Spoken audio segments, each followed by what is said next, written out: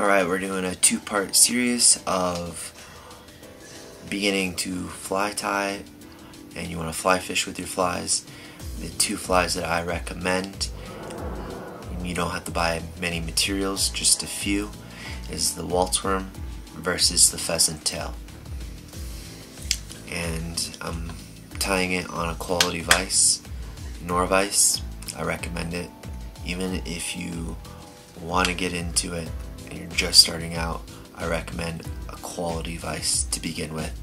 Otherwise, you're just going to regret buying a cheap vise and buying more vices after that until you actually get the one that you want.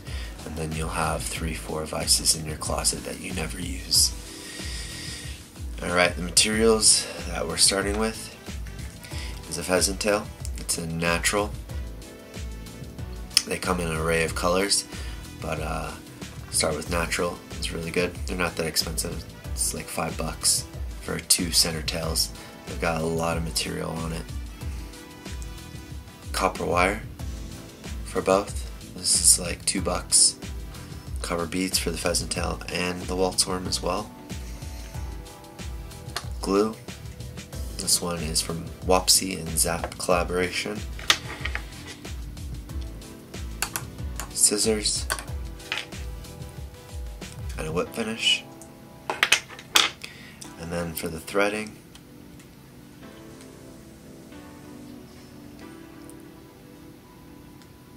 I like more of a natural color.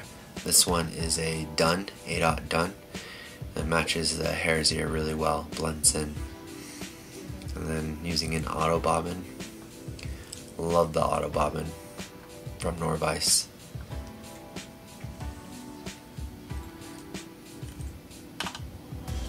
And then I got a thread stand. I'm gonna rest my bobbin on. And that's pretty much it. One, two, three materials for two different flies. And you can tie the pheasant tail without the copper wire. You can use your threading on it. So that makes it four variations. And you can do the same thing with the Walt's worm. Just use your threading and no copper wire. And make sure you subscribe and share my videos with other people so I can make more quality content with y'all. We learn fly tying together. And I also do fly fishing uh, videos. Um, you can join me on my journey, adventure, experience, learn more things, learn more about fly fishing, reading the trout. I hope you enjoyed my pheasant tail fly tying video. You can check out my YouTube page over at Black Raven Trails. We're going to be tying the pheasant tail. It's with natural pheasant tail and natural hare's ear, copper wire for the ribbing, and a copper bead. And the copper bead is a slotted bead for a jig hook. It's got a 60 degree bend in there for the jig hook to sit right behind the eye. So what we're going to do is build up a thread dam, lock the thread in place, get rid of the tag end, and build a dam, a thread dam, to secure the bead behind the eye of the hook.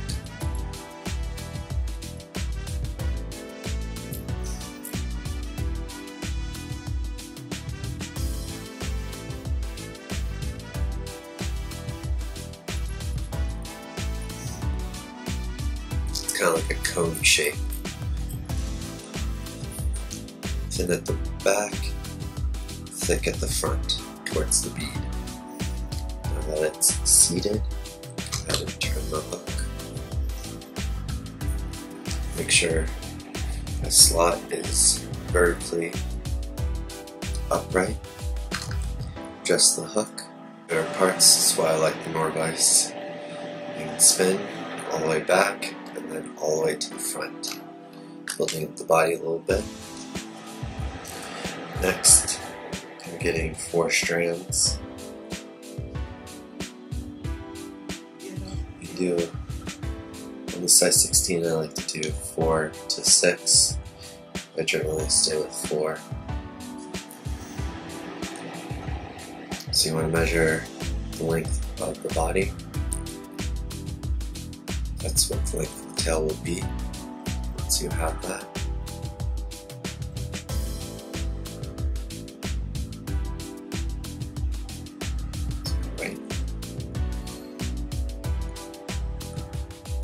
You do a loose wrap and then you pull up and that will seat the pheasant tail in a vertical position.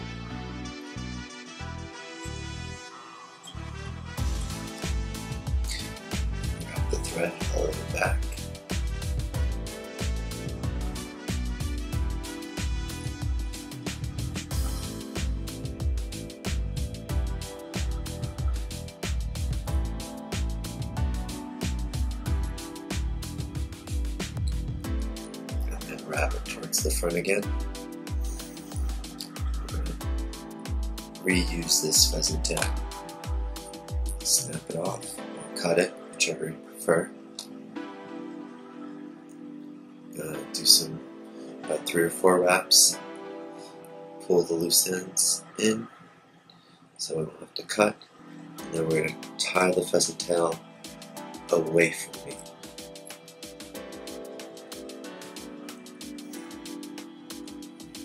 Go back to the front. Now we're going to tie in the copper wire like put the copper wire in the slot. And we're going to tie this towards me.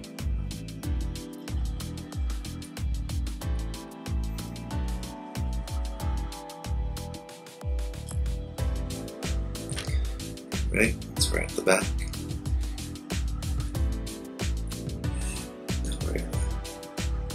Towards the front. Put our thread on the thread stand. Get our super glue. We want to make a nice durable fly.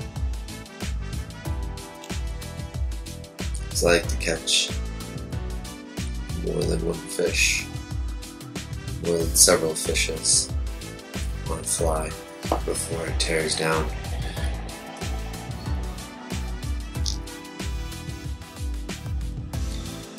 Now we're going to go under the hook. So, now this pheasant tail is away from me. Pull it. Make sure it sits flat. And go under the hook. And do touching wraps. Make sure it's nice and taut. Pheasant tail breaks really easily, so don't pull too hard. That's why there's super glue, so it'll help seat it. Go all the way towards the front.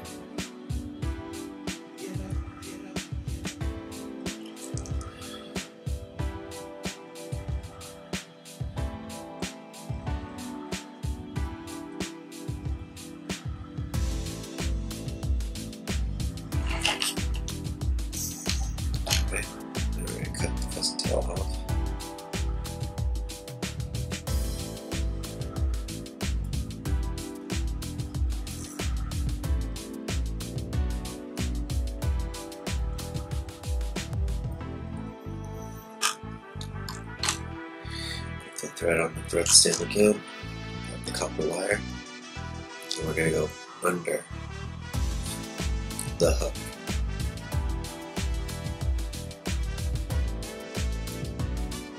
Do one, two, three, four, five, six, five and a half. Wrap the wire around the thread two times, two or three times.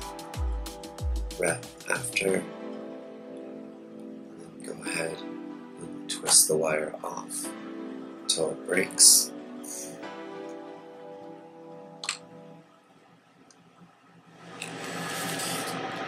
Now we're going to apply the hare's ear. Do a nice thin dubbing rope. going thin to win.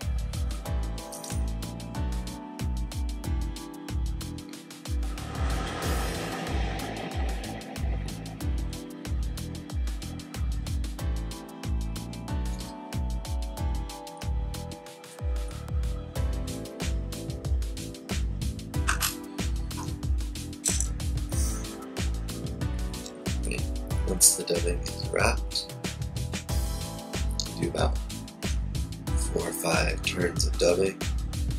Nice thin dubbing rope. Apply some super glue to the threading, and then two or three turns. Three turns on the whip finish. Make sure it's seated nicely underneath the dubbing. And then whip finish again. I like to whip finish at least once. Smell of the fly.